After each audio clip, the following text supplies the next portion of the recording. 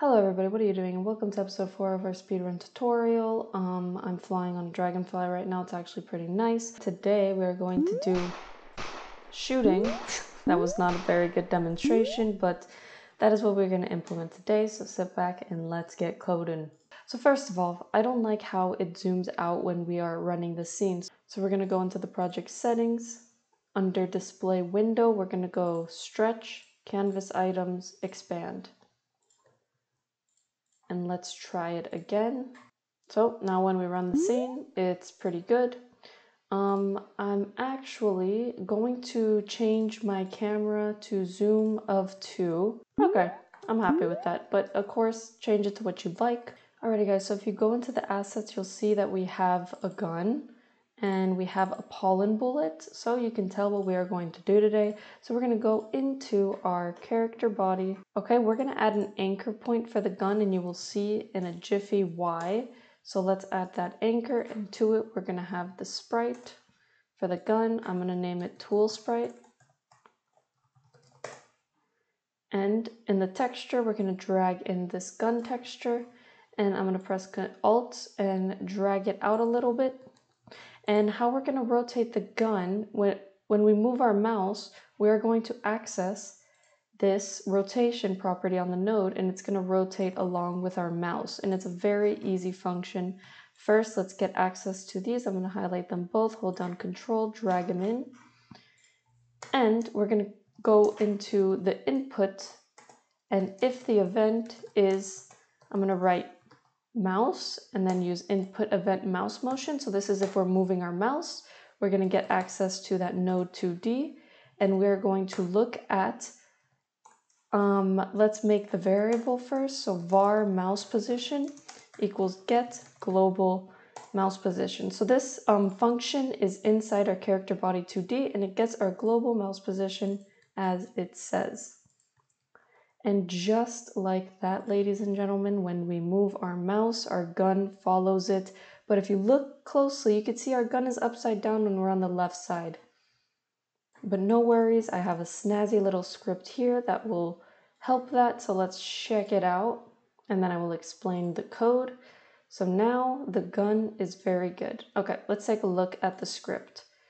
So in here, we're saying if our mouse position X, so if our the X of the mouse position is to the left of that anchor, we want to make the Y of our scale negative 1. Else, we want this to be 1. So let's check out what making the y to negative 1 does. So make sure you have this unlinked, or else when you change the y, it'll also change x, and we don't want that. So when I change this, so you can see the gun is currently upside down, but when I make this negative y, it is the right side. And then when we go and when our mouse is to the right of this anchor, it puts it back to one.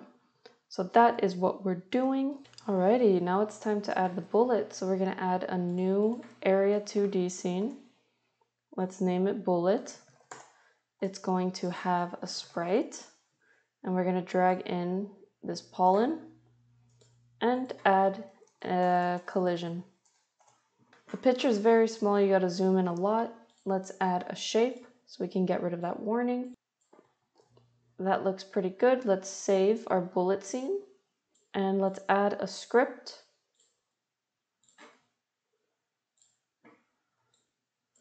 Let's delete all this. And for the script, we're going to have it like this. So we have a speed of 200. And in the process function, we are incrementing the position by our transform x times speed times delta. And we will deal with this transform x later, but this is basically just for the bullet to keep going in the direction it is facing. Okay, let's go back to our player. We want to instantiate this bullet scene every time we shoot, so I'm going to do var underscore bullet equals. You need to access now your bullet scene and drag it in here, hold down control so we could add this preload. And let's go into the project settings and the input, we're to add shoot. And for me, I want to make shoot a left mouse button click, but feel free to add it what you want. So in our input, if input is action just pressed shoot, which is our mouse click input, what we want to do is we want to make a var bullet equals that bullet scene and we are going to instantiate it because it is a scene. You can instantiate scenes. Now we need to add it to a node and we don't want to add it to ourselves because then when our player walks, the bullet will follow our player's position and we don't want that. So we're going to add it to our level one. Let's create a node that we could add it under. We'll call this bullets. So now we need to access this node through our character body. We'll do it a very simple way. We'll do at export var bullets node and type node 2D. So make that a capital D. Now when we come into level one, we can assign that to this. So we're gonna add our bullet scenes to this. So we will do bullets with an S, bullets node, add child, and the bullet that we are instantiating. So after you add the child is when you change its position and do other stuff. So first, we want the bullet to go in the direction of our mouse. So we're going to do bullet look at get global mouse position. We're also going to come into our player and we are going to add to our tool sprite, we're going to add a marker 2D, zoom in, hold Alt, and this is where our bullet is going to be instantiated. So we need to tell it bullet global position equals, let's get access to that marker 2D. Hold down control and we want it to be here. And let's test it, see if it works. There we go. So right now we can run faster than the bullet. That's weird. So feel free to make it uh, the speed that you want. Let's also add a sound effect. I've added some sound effects to the sound filter. So let's go to gunshot. This sound is very loud. So we want to make the volume negative 15 decibels. Let's rename it gunshot. Let's come in here, drag it, hold control. And when we shoot, we want this to play. Okay, I don't like all of this logic in our input function. So I'm to make a function shoot. And we're to drag all of this in here. If you want to set all of these back, you can hold shift tab. It'll do all of it. And we'll do it like that. So let's see how it sounds with the gunshot. There we go. But right as of now, it's not doing anything to our dragonfly, so let's change that. Alrighty, so let's go to the bullet scene. Uh, let's go into the project settings. In general, scroll down to 2D physics. We're going to add an enemy. I already added it, but it should be on layer 3. Let's go to the dragonfly and let's set our dragonfly to the enemy layer, which is layer 3. Uncheck this.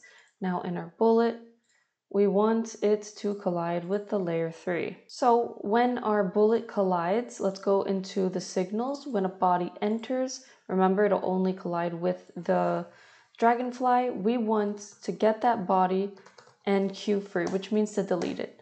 And then we also want to queue free the bullet. But what happens if the bullet doesn't collide with anything? Then we want to delete it. So what I'm going to do is I'm going to get a timer node Let's set it to five seconds. Let's auto start it. And when the timer times out, we will queue free the bullet. And let's test it out. So I'm going to shoot a bunch of times. We killed the dragonfly. Let's come here. And these are our bullets, and you can see that they all deleted because the five second timer went off. And that is how you do a shooting mechanic in a game. Alrighty guys, I noticed a bug where sometimes it doesn't shoot in the right direction, like that. So a way that you can combat that is go into the player and just switch the location, make sure that we're setting the global position before we look at that. So now it should be much better.